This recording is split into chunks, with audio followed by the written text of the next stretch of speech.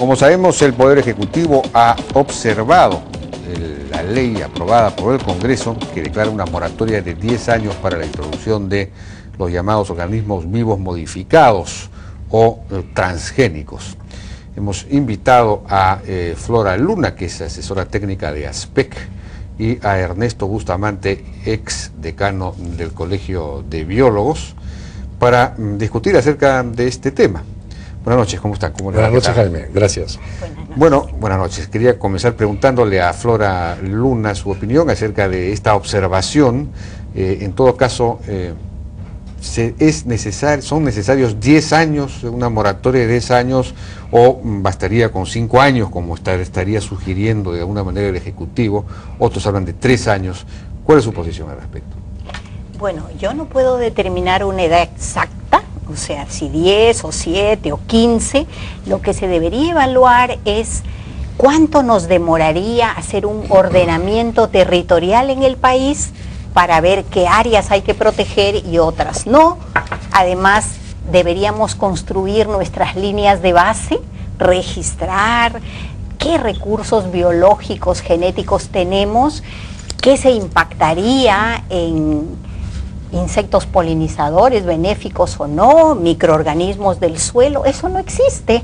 ¿Cuánto tomará eso? No lo sé. Yo pienso que en nuestro país, cuando se dieron las leyes en Perú de riesgo de la biotecnología, dijeron que los organismos sectoriales competentes construyeran su reglamento de bioseguridad y se demoraron nueve años. Esa es la realidad del 2002 al 2011. Entonces, yo pienso que nuestro país debe tener el tiempo suficiente para cuidar todos nuestros recursos, dado que somos el cuarto país megadiverso del mundo, y no estar después ¿no? lamentándonos de haber contaminado con flujo de genes o creado daño. ¿no? Eh, Bustamante, ¿cuál es su posición sobre esto? Bueno, mi posición es que la ley el proyecto de ley de moratoria eh, realmente es una barbaridad. Me alegro que haya sido observado por el Ejecutivo. Eh, estoy en desacuerdo con algunos de, los, de las razones por las que realmente se ha observado. Yo sería más drástico en cuanto a realmente tirar al tacho de basura ese proyecto. Es realmente un atentado contra lo que significa el ser peruano, me parece a mí.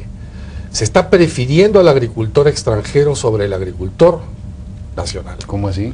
Bueno, esta ley lo que persigue es impedir el cultivo de transgénicos en el Perú. No impide el ingreso de transgénicos en el Perú. Entonces, en este momento, los transgénicos que actualmente, por ejemplo, alimentan pollos, alimentan cerdos, como los, la soya y el maíz, son en casi un 50% cada uno de origen transgénico provenientes de Canadá, de Australia, bueno, en el caso del Perú, de los Estados Unidos, de Argentina y de Brasil. Y entonces, ¿qué se pretende? Se pretende que el agricultor no tenga la posibilidad, la opción, la capacidad de poder utilizarlos para mejorar su productividad, para luchar contra plagas de insectos o para poder evitar malezas rociando herbicidas sin que estos herbicidas hagan daño a sus plantas. Es decir, lo que persigue esta ley no es prohibir transgénicos, es una moratoria para el cultivo de transgénicos. Parece una ley dada por un imperio extranjero. Y que, lo que quiere es lo que se hacía en la época de España colonial. Se decía, no, no, no, no, ustedes no pueden sembrar vid en el Perú porque el vino lo traemos de España. Por eso es que el pisco se desarrolló a escondidas, porque el orujo era el que tenía que venir desde España.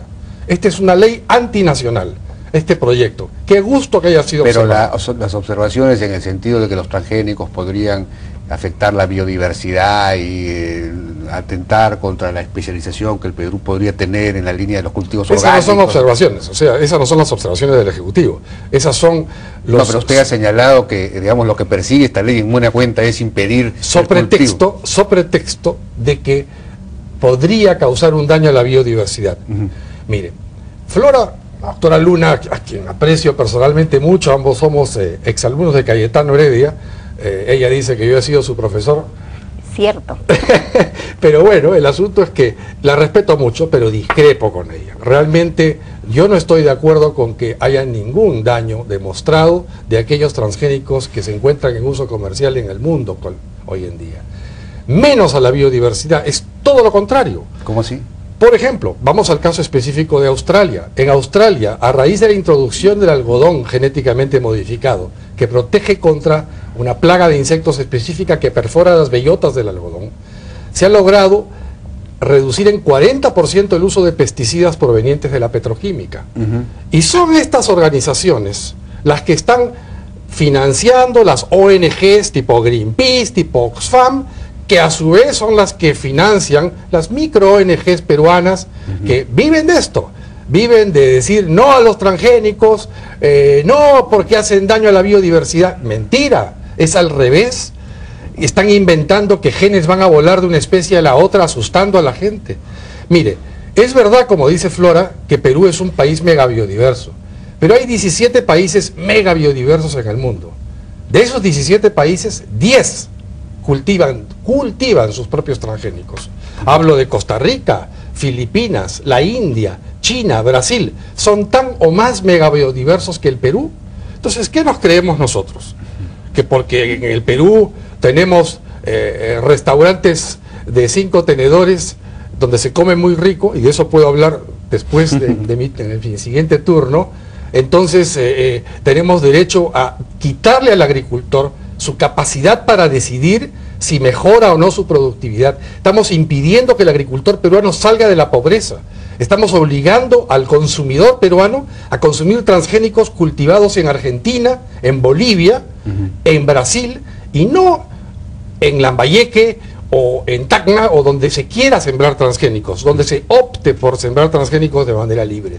por eso estoy en contra de la ley de moratoria contra los transgénicos y estoy a favor de que se haya observado este proyecto de ley. Su comentario, su respuesta, Flora. Bueno, yo creo que mi querido amigo Bustamante no ha leído las observaciones porque todas están mal justificadas. Mencionaré algunas. Se dice que la autógrafa desestima lo avanzado en bioseguridad. ¿Qué sistema de bioseguridad existe en el país sino los sectores competentes no tienen su reglamento de bioseguridad. Es más, el único sector agricultura a través de línea hace un reglamento después de nueve años. El 2007 se hace una alerta, ojo, en Barranca hay maíz amarillo duro transgénico y el único que no encuentra los eventos transgénicos es el propio ente rector. Es una vergüenza. La segunda observación es que bastarían cinco años y no tenemos líneas de base, no tenemos ordenamiento territorial. Es más, nos dicen, este maíz amarillo es para alimento de animales y lo certifican las autoridades, pero termina sembrando, termina cultivado. Entonces, ¿qué sistema de bioseguridad se tenemos? Está sembrando maíz. Eh, ya se ha detectado en varias, varios valles de la costa y numerosas instituciones con pruebas rápidas de tipo cualitativo han detectado que hay soya y hay maíz transgénico y las autoridades están dormidas en los laureles, durmiendo el sueño de los justos, porque ellas nunca encuentran nada.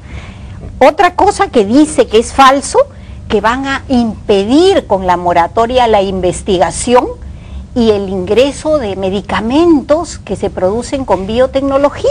Y acá, Jaime, tú tienes este, si revisamos la ley de la moratoria en su artículo primero que habla del ámbito, dice que es solo para OBMs de cultivo o acuicultura. Y el artículo 2 que habla de exclusiones, claramente dice que no se prohíbe la investigación y no se prohíbe medicamentos que no sean que sean los únicos, ¿no? Y realmente estos medicamentos por biotecnología no tienen un equivalente convencional, entonces no están prohibidos. Por ejemplo, antes, ¿qué se hacía? Sacar proteínas, insulina de animales para ponerle al paciente, pero daban reacciones alérgicas porque no tenían similitud, equivalencia, igual que los humanos. Ahora eso se fabrica con biotecnología y esto no está prohibido por la moratoria, así que el presidente ha estado pésimamente asesorado en este punto, ¿no? Tenemos que ir, si me permiten, a una pausa y regresamos.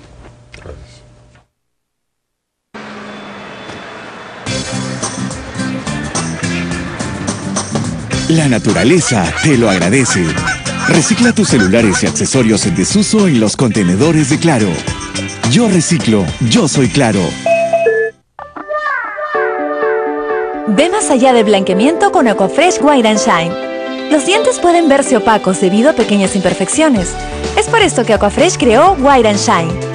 Sus micropartículas pulen suavemente los dientes, dejándolos más blancos y tan suaves que brillan.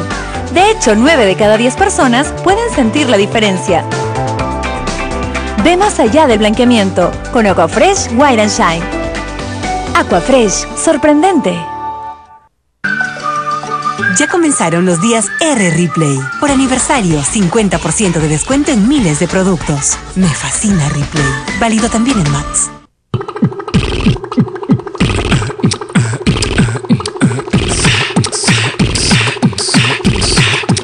SOAT Delivery, máximo en 30 minutos o tu SOAT es gratis todos los años que tengas tu auto. Pacífico, comprometidos de verdad.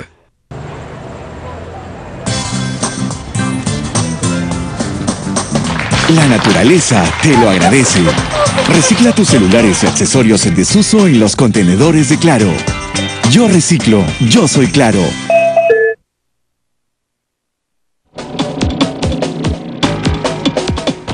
Y bien, seguimos conversando acerca de la observación hecha por el Ejecutivo a la ley aprobada por el Congreso que establece una moratoria de 10 años para el cultivo de transgénicos.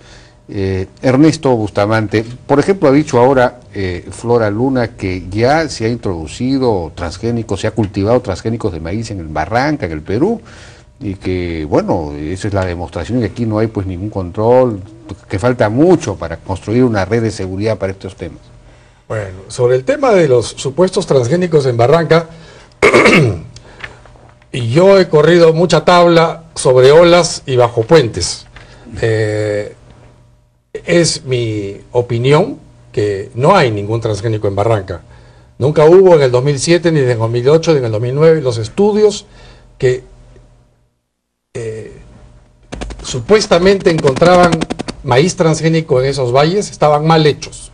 No tenían controles positivos, no tenían controles negativos claros, las bandas electroforéticas eran incorrectas. Los aspectos técnicos no los quiero mencionar, pero mi opinión es que eso no era correcto.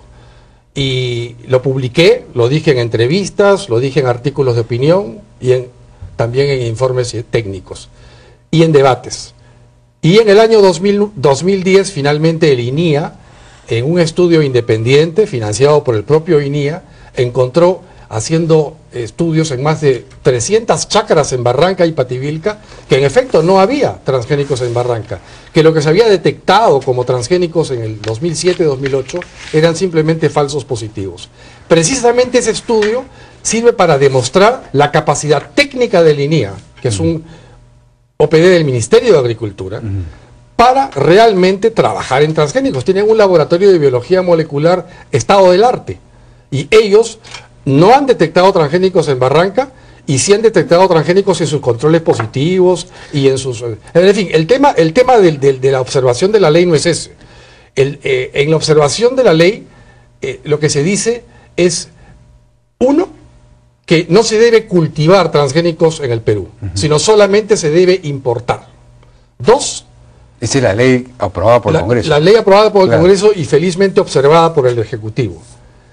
El segundo punto, que es el artículo 2, el de la exclusión, dice Flora Luna, mi amiga Flora Luna, que eh, en realidad se está excluyendo a los fármacos, que no es verdad que los medicamentos vayan a ser afectados.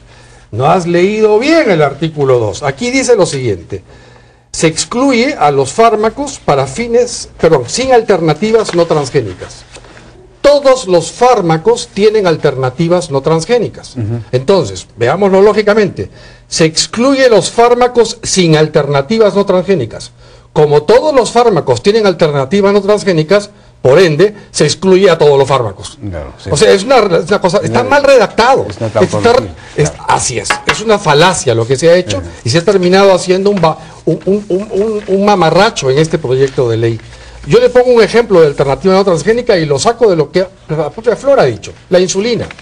La insulina que es usada por el 5% de la población mundial, porque la insulina es necesaria para los diabéticos tipo 1. Si no se inyectan insulina, chau. Antes se obtenía de cadáveres y se, obtenía, se obtenía también de páncreas de cerdo.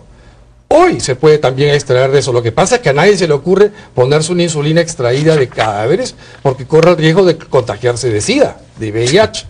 Entonces se usa la insulina sintetizada con método transgénico. Ya, de acuerdo. La hepatitis B es prevenida con una vacuna que se, se sintetiza por ingeniería genética, o sea, por métodos transgénicos. Y también la eritropoyetina, medicamentos contra el cáncer, todos ellos están siendo prohibidos por ese artículo, que está mal redactado. Ahora, yo no estoy pidiendo que lo redacten bien y simplemente vayan adelante con, la- con el tema de los cultivos, pero está tan mal redactado que O sea se excluyen los medicamentos. Hay que cambiar esos aspectos. Y el tema de los años, el- la moratoria, ¿debe haber moratoria y cuánto tiempo?